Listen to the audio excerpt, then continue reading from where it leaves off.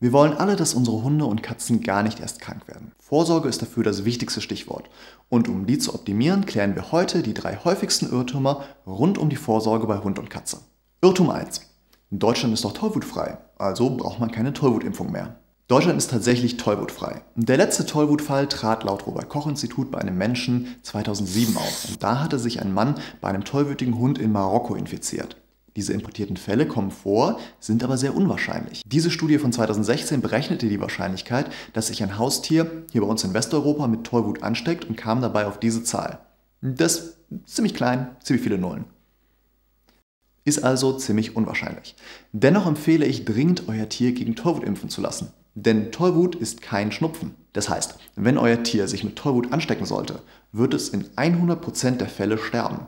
Und anders als bei uns Menschen sind Behandlungsversuche bei unseren Haustieren explizit verboten. Das ist in der deutschen Tollwutverordnung geregelt. Da heißt es, Heilversuche an verdächtigen Tieren sind verboten. Nicht nur das. Tiere nur mit Verdacht auf Kontakt zu tollwuterkrankten anderen Tieren müssen euthanasiert werden. Es sei denn, sie sind geimpft dann ist alles safe. Also ist die Tollwutimpfung eine Risikoabwägung. Ja, es ist dank unserer Impfprogramme, gerade an Füchsen, sehr unwahrscheinlich an Tollwut zu erkranken. Aber wenn, dann folgt ungeimpft immer der Tod. Deshalb empfehlen Tierärzte in Deutschland, jedes Haustier gegen Tollwut impfen zu lassen. Irrtum 2. Zeckenschutz? Nur in der Zeckensaison.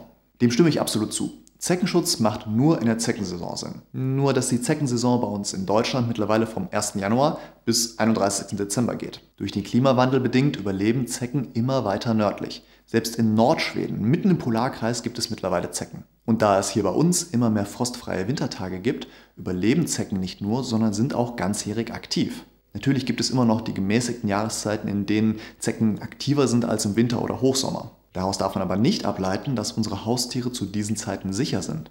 Das merken wir Tierärzte daran, dass die Zahlen an durch Zecken übertragenen Krankheiten immer größer werden. Anaplasmose, Leimborreliose oder Babesiose sind leider keine Seltenheit mehr und das ist wirklich schlimm. Das bedeutet, dass wir unsere Vierbeiner ganzjährig schützen müssen.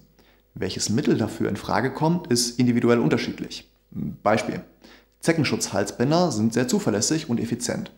Es sei denn, man hat eine Wasserratte. Dann wäscht sich der Wirkstoff im Halsband nämlich sehr schnell aus. Also am besten besprechen Sie mit der Tierärztin Ihres Vertrauens, welches Mittel zu Ihrer Lebenssituation passt.